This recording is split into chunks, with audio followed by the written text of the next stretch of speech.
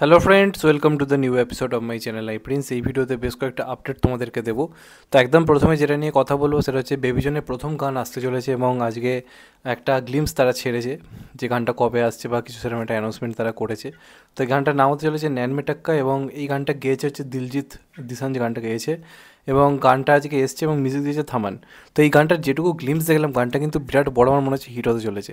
সাউথের গানগুলো যেরকম টাইপের হয়ে থাকে সেরকম একটা ভাইবস গানটার মধ্যে রয়েছে এবং যেটুকু আজকে গ্লিমস দেখলাম, আমার মনে হচ্ছে এই গানটা তারা লিরিক্যাল ভিডিও হিসেবে হয়তো আনতে পারে। কারণ সাউথের তো একটা চল রয়েছে। তবে যেহেতু এটা নর্থ ইন্ডিয়ান সিনেমা সেক্ষেত্রে নাও করতে পারে। তবে আজকের গ্লিমসটা থেকে মনে হলো, তারা হয়তো প্ল্যানিং করছে লিরিক্যাল ভিডিও হিসেবে আনার। এবার নাও হতে পারে। তবে যেটুকু ভাইসটা শুনলাম টপ নজ একটা মাসি কমার্শিয়াল সং হতে পারে। এমনটা আন্দাজ করা যাচ্ছে এবং আমি বরুণ ধাওয়ান এবং কীর্তি সুরেশের জুড়িটাকে দেখার জন্য খুব এক্সাইটেড আছি। অনেকদিন পরে মনে হচ্ছে বরুণ ধাওয়ানের একটা মানে মারাত্মক হিট গান আসতে চলেছে। তো দেখা যাক গানটা কেমন হয়। পঁচিশে নভেম্বর গানটা আসতে চলেছে। হয়তো এরকম বিকেলের দিক করে আসবে। জি মিউজিক কোম্পানি চ্যানেলে আসবে। তো দেখা যাক গানটা আলটিমেটলি কেমন আমি খুব এক্সাইটেড রয়েছি গানটার জন্য। এর পরবর্তী যে আপডেটটা দেবো সেটা হচ্ছে ভাগাম ভাগকে কেন্দ্র করে, ভাগাম ভাগ টুকে কেন্দ্র করে। কদিন আগেই শোনা যাচ্ছিল যে এই সিনেমাটার পার্ট টু হতে চলেছে। এবং অক্ষয় কুমার পুরোপুরি দায়িত্ব সহকারে কাজটা করছে, এমনটা শোনা গেছিল। সেমোরের থেকে পুরো রাইটস কিনে নিয়ে। এখন যেটা জানা যাচ্ছে সেমারও নিজেই কাজটা প্রডিউস করতে চলেছে এবং তার সঙ্গে সঙ্গে আর একটা প্রোডাকশন হাউস আর আর প্রোডাকশন হাউস বলে একটা প্রোডাকশন হাউস রয়েছে। তারা মিলে যৌথভাবে এই সিনেমাটার অ্যানাউন্সমেন্ট করেছে যে তারা পার্ট টু আনছে এবং খুব সম্ভবত মোটামুটি এপ্রিল মে দু হাজার পঁচিশ করে সিনেমাটা ফ্লোরে যাবে এবং পুরো এই যে তিনজন ছিল, তিন ট্রায়োজে ছিল অক্ষয় গোবিন্দা এবং পরেশ রাওয়াল এই তিনজনকে নিয়ে কিন্তু এটা হতে চলেছে। তবে আমি মনে করি, যদি এটাকে ফিরিয়ে আনতেই হয় শুধুমাত্র অক্ষয় গোবিন্দা পরেশ হলে হবে না, তার সঙ্গে সঙ্গে মানে ভাগামভাগ যদি তোমরা দেখো, সেখানে পুরো সমান গুরুত্ব কিন্তু ছিল শক্তি কাপুরের, তারপর ধরুন সমান গুরুত্ব ছিল রাজপাল যাদব এই ক্যারেক্টারগুলোর। এগুলোও কিন্তু কোথায় গিয়ে ফিরিয়ে আনা দরকার। এই চরিত্রগুলো যারা অভিনয় করে তাদেরকে ফিরিয়ে আনলে ব্যাপারটা আরও জম্পেস হবে।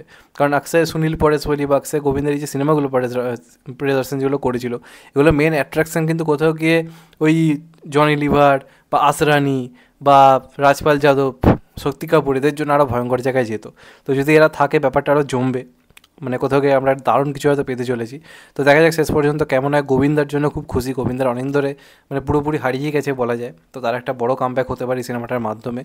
তো যাই হোক, আমার মনে হচ্ছে অক্ষয় কুমার একটা বিগেস্ট কামব্যাক হবে। দেখা যাক লাস্ট অব্দি কী হয়। মনে হচ্ছে সময় ফিরতে চলেছে দু হাজার পঁচিশে। দেখা যাক শেষ পর্যন্ত কী হয়। এর পরবর্তী আপডেটটি যেটা নিয়ে দেবো সেটা হচ্ছে লাভ অ্যান্ড ওয়ারকে কেন্দ্র করে যেটা রণবীর তারপর ভিকি কৌশল এবং আলিয়া ভাট মিলে করছে সঞ্জিলীলা ভান্সালি সিনেমাটা ডাইরেক্ট করবে। এটা সংক্রান্ত একটা বড় আপডেট উঠে মানে উঠে এসছে। এই সিনেমায় কিন্তু আমরা একটা হয়তো ক্যামিও করতে সালমা, শাহরুখ খানকে দেখতে পাবো। এমনটা কিন্তু জানা যাচ্ছে। শাহরুখ খানকে একটা গ্র্যান্ড ক্যামিও করানোর তারা প্ল্যানিং করছে। সেটা নিয়ে কথাবার্তায় গিয়েছে এবং খুব সম্ভবত হয়তো এই সিনেমাতে একটা শাহরুখ খানের কোনো ইম্পর্টেন্ট ক্যামিও থাকতে পারে। এবার ক্যামিওটা কীভাবে থাকবে কীরকম কী হবে সেটা এখনও জানা যায়নি। তবে খুব সম্ভবত একটা আমরা দারুণ ক্যামিও শাহরুখ খানের এই তিনটে ক্যারেক্টারের সঙ্গে হয়তো দেখতে পাবো। তো দেখা যাক সেটা কেমন আমি তো খুবই এক্সাইটেড রয়েছি সেটা দেখার জন্য অবশ্যই। লাস্ট আপডেটটা খুবই বড় আপডেট সেটা হচ্ছে সলমান এবং অ্যাডলির যে আপকামিং সিনেমা যেটা প্ল্যানিং হয়েছে, সেটা সংক্রান্ত একটা বড় আপডেট উঠে এসেছে। প্রত্যেকটা সিনেমা যেরকম অ্যাডলিট হয়ে থাকে সিনেমায় হিরোর দুরকম লুক দেখতে পাই আমরা, দুরকম চরিত্র দেখতে পাই। সেই যে প্যাটার্নটা সেটা এই সিনেমাতেও থাকতে চলেছে এবং এটা কিন্তু একটা পিরিয়ডিক্যাল মুভি হতে চলেছে। এই সিনেমায় দুটো টাইম লাইন থাকবে, একটা পাস্টের গল্প আর একটা হচ্ছে প্রেজেন্ট টাইমের গল্প। যেমনটা কাঙ্কুবাতে ছিল, এবার যদি কাঙ্কুবার মতো ওই রকম সিনেমা হয়েছে তাহলে কিছু বলার থাকবে না।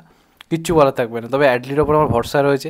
অ্যাডলি আর জয় উল্টোপাল্টা সিনেমা কখনো বানাবে না। টাইম নিয়ে, সময় নিয়ে, ধীরে সুস্থে বানায় এবং এখানে আমরা সালমান খানের দুরকম লোক দেখতে পাবো একটা ফিউচার মানে প্রেজেন্টিক টাইমের আর একটা পাস্টের টাইমে সেই দুটো লুকের পুরো আলাদা আলাদা গেট আপ হতে চলেছে, আলাদা আলাদা সিন হতে চলেছে।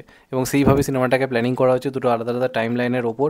এবং খুব সম্ভবত হয়তো পরের বছরের মোটামুটি শুরুর দিক করি, সেখানদের কাজ কমপ্লিট করি, এই কাজটায় হাত দেবে। তো আমি খুব এক্সাইটেড সালমান অ্যাডলি চুরিটাকে দেখার জন্য, কারণ আমার মনে হয় না মানে সালমান খানকে এই মুহূর্তে অ্যাডলির থেকে বেটার কেউ প্রেজেন্ট করতে পারবে বলে। কারণ অ্যাডলি এমন একটা ডাইরেক্টর আমি বারবার চেয়ে এসেছি শুরু থেকে থালাপতি বিজয়ের কাজগুলো দেখতে আমি মনে মনে ভাবতাম যে এর সঙ্গে যদি সালমান কাজ করে কেমন হবে? তারপর তো শাহরুখ খানকে দেখলেই, কীভাবে প্রেজেন্ট করল। তো আশা করা যায় এই সিনেমাটা মারাত্মক কিছু হবে এবং এখানেও তার প্রত্যেকটা সিনেমার মতো ডবল ক্যারেক্টার থাকতে চলেছে একটা হিরোর তো দেখা যাক শেষ অবধি কেমন হয়। তোমরা এই কাজটা নিয়ে কতটা এক্সাইটেড অবশ্যই কমেন্টে জানিও। আর আজকের আপডেটগুলো কেমন লাগল অবশ্যই কমেন্টে বলো। চ্যানেলটা নতুন হলে চ্যানেলটা সাবস্ক্রাইব করে দিও অ্যান্ড গেট দ্য বেল ভালো থেকো সবাই টেক কেয়ার নমস্কার। আবার দেখা হবে এখন তো পাই সবাই ভালো থেকো, সুস্থ থেকো, নমস্কার টেক কেয়ার আবার দেখা হবে।